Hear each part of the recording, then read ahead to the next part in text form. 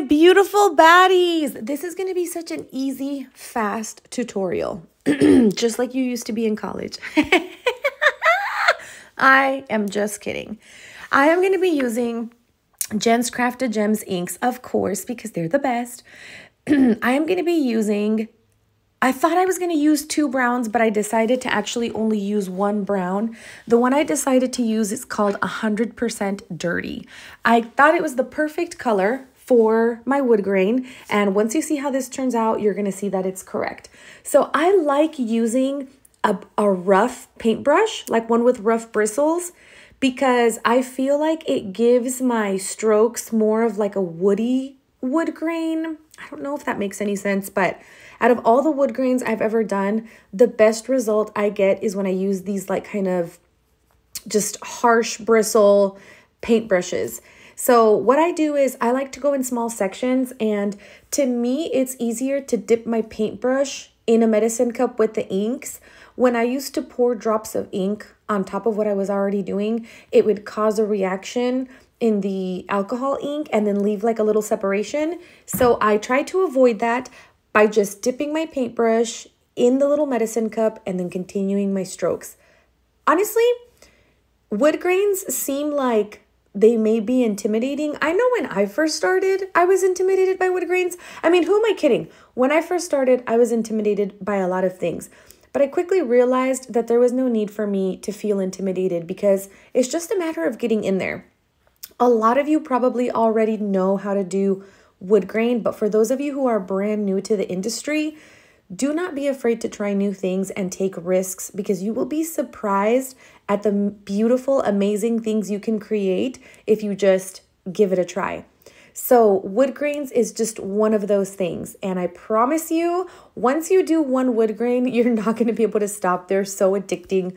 So, I'm going to go ahead and just repeat the process all the way around the tumbler you know, as, as you guys see, I just dip it in there gently and then use my, my paint strokes gently up and down. I don't go to the sides. I don't go side to side. I keep my strokes vertical, up and down, up and down.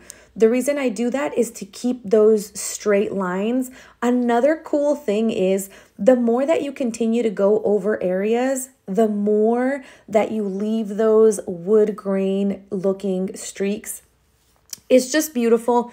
You cannot go wrong. And even though this is kind of such a standard like thing to do, I still can never get over the fact that we can paint a basic tumbler and make it look like it's wood. Like wood grains are so under, I feel like they're underappreciated. But when I was done with this tumbler and I was looking at it, I was like, I freaking made that look like wood. Like that is so badass.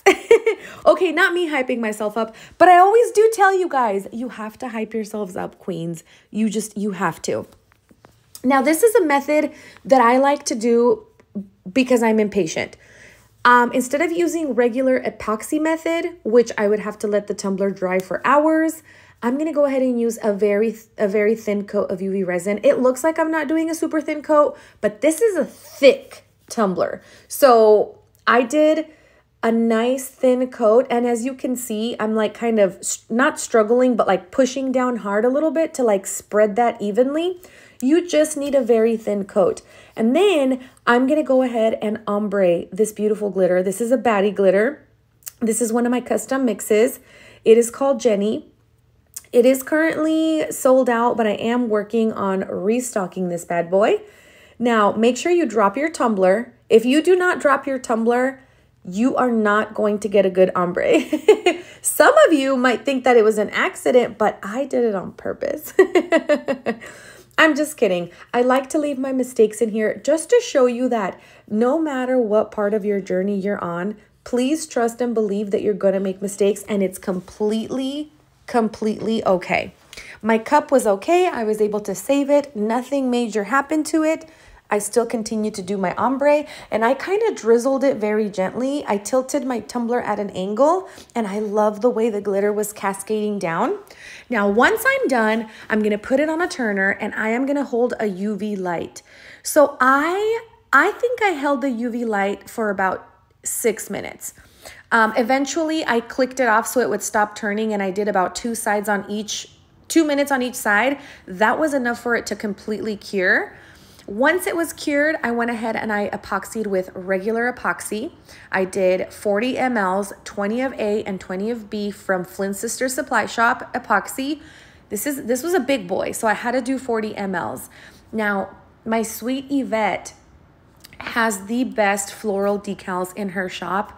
What I really like about her decals is that it does not matter if you have a dark background or not. She prints these over white ink, so the background is completely transparent and beautiful. However, you can still put it over a dark base and it will show. Now, I like to cut up different flowers and kind of create my own little thing here. And that's what you see me doing here. I'm cutting little bits and pieces of different sticker sheets and just kind of building my own little, you know, cluster of, of flowers the way that I like it. The moment I thought I, about doing this cup, I knew I wanted flowers at an angle.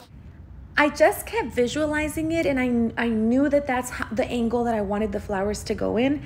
And I love that I'm able to cut different elements out and just kind of overlap them the way I want to use them. I did decide to do a mama decal. Mother's Day is coming up and I thought this is super fitting, you know, a beautiful wood grain floral tumbler with the word mama. I just loved it so much. And I chose a very light, cute pink to kind of complement the flowers and so that it would really stand out against that dark wood grain. Now guys, if you are interested in the decal sheets from Yvette, I have a discount code. I will link them. If you're interested in the epoxy, it is crystal clear. I also have a discount code and a link in the description. So feel free to take advantage of any of those discounts if you want to. You don't have to. That's just there as a resource if you want to use it. Now, once I placed my decal, that that was the last step. I thought about adding flowers to the backside, but I was like, no, no, no, no, no, no. It's perfect. So I went ahead and went in with 40 more mLs. I wanted to do a nice thick coat over this tumbler so that it could be my final coat. I did 20 of part A and 20 of part B, and it gave a nice thick coat. Here is the beautiful shiny product that I ended up with. I'm very pleased with it, very satisfied. I love it so much. I'll see you guys next Saturday. Besitos.